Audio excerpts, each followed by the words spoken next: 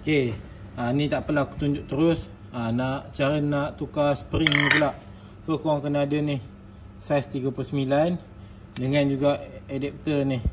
Sebab cordless kita ni, okey. Cordless kita ni dia kecil. Dia kecil dia tak boleh masuk. Dia longgar. So kena beli ni. Ha, benda ni aku beli RM25. Yang ni aku beli RM60. Ha, so ni letak sini. So ni letak dalam ni. Okey, pastikan dia masuk betul lah. Ha, okey. Masuk cordless.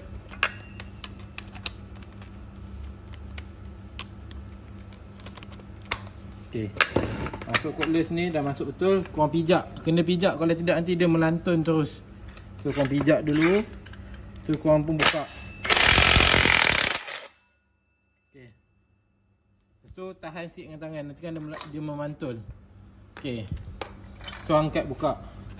Korang buat keluar korang punya spring standard tu ha, Macam ni aku pakai brand uh, KTC 1000 Okay Lepas tu masuk balik Masuk-masuk je macam ni. Okay Dah masuk balik tu Lepas tu Ni tutup ni nampak ni? Ha, Ni kan dia ada petak dia ni Pastikan sama dengan ni. Ha, Okay Dah masuk. Okay korang tekan tekan ha, so memang kena pijak eh okay. tekan lepas tu korang kena pusingkan ke kanan pusingkan ke kanan okay. dia korang akan rasa dia macam ada masuk lock ha. lepas tu ni nampak ni belah atas ni belah bawah ha, pusing dulu pakai tangan pusing pakai tangan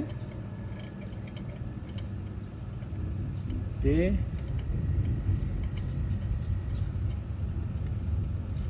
Pusing pakai tangan.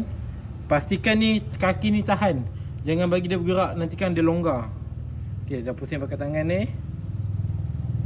Ha, Ok ambil balik cordless ni. Ok Ikat balik.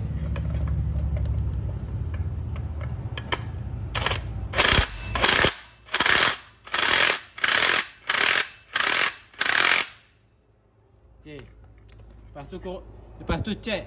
Ni ha, Kalau ada bergerak tu Nah, dan dan lah pula helikopter nak lalu atas rumah aku ni. Okey. So kau check, kau pusing kalau ada bergoyang tu maksudnya tak masuk lock. Ha, so dah ni dah okey.